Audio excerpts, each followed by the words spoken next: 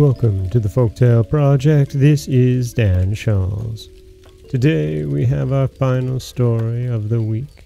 And it's a tale that we've told before. We haven't had one of those in a while, but I like this story. It's it's quite an interesting tale out of Castle Sooneck. This is The Blind Archer.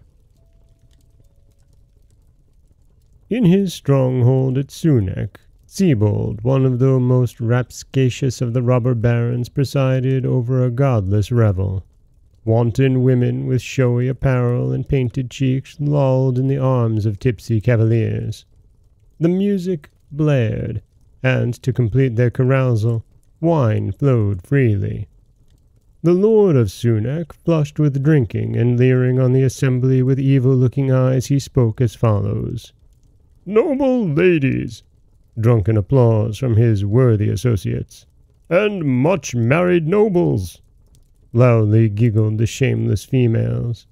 After food and drink, I, as your host, will be pleased to entertain you by bringing you a ferocious animal which I keep confined here.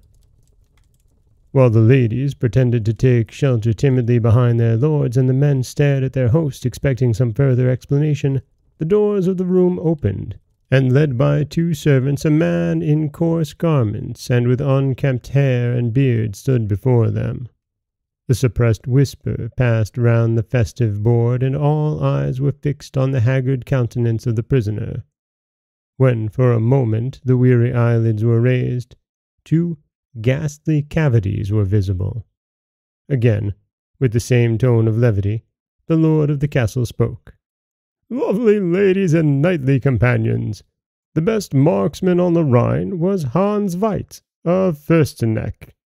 Like ourselves, he was dreaded far and near. He and I entered on a feud of life and death. He went down. With broken brand and battered shield, bleeding from numerous wounds, I lay prostrate before you, awaiting manfully the death thrust, murmured the prisoner, and his voice sounded as if from the grave. It pained me to finish him off, said Sibold flippantly. I got his two eyes taken out, and thus added to my collection of rarities the best archer on the Rhine. My murdered eyes behold your scorn, said the prisoner harshly. But surely chivalry still flourishes on Sooneck, said the lord of the castle. Understand then that my servants have informed me that even blind you can, guided only by sounds, hit a given mark with the bolt.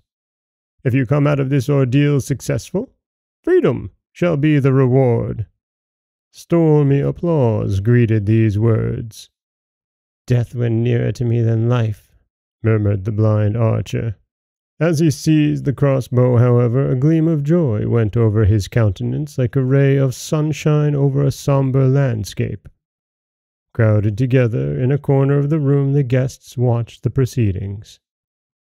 The lord of Sooneck seized a goblet and ordered the prisoner to draw upon it after hearing the sound. In the next moment the silver clang resounded as the goblet fell on the floor. Shoot now, said Sibold of Sooneck and immediately an arrow pierced his mouth. With a grunt like a slaughtered ox, Sibold sank among the rushes. Silent and motionless, with the two eye cavities gaping, stood the blind man. Then his shaggy head sank on his heaving breast. Like a flock of frightened crows, the knights and their paramours fled, and only a few terrified squires and servants muttered prayers over the body of the Lord of Sooneck. And that is the story of the blind archer, one of my favorite stories of revenge because, honestly, what did Sibold expect to happen?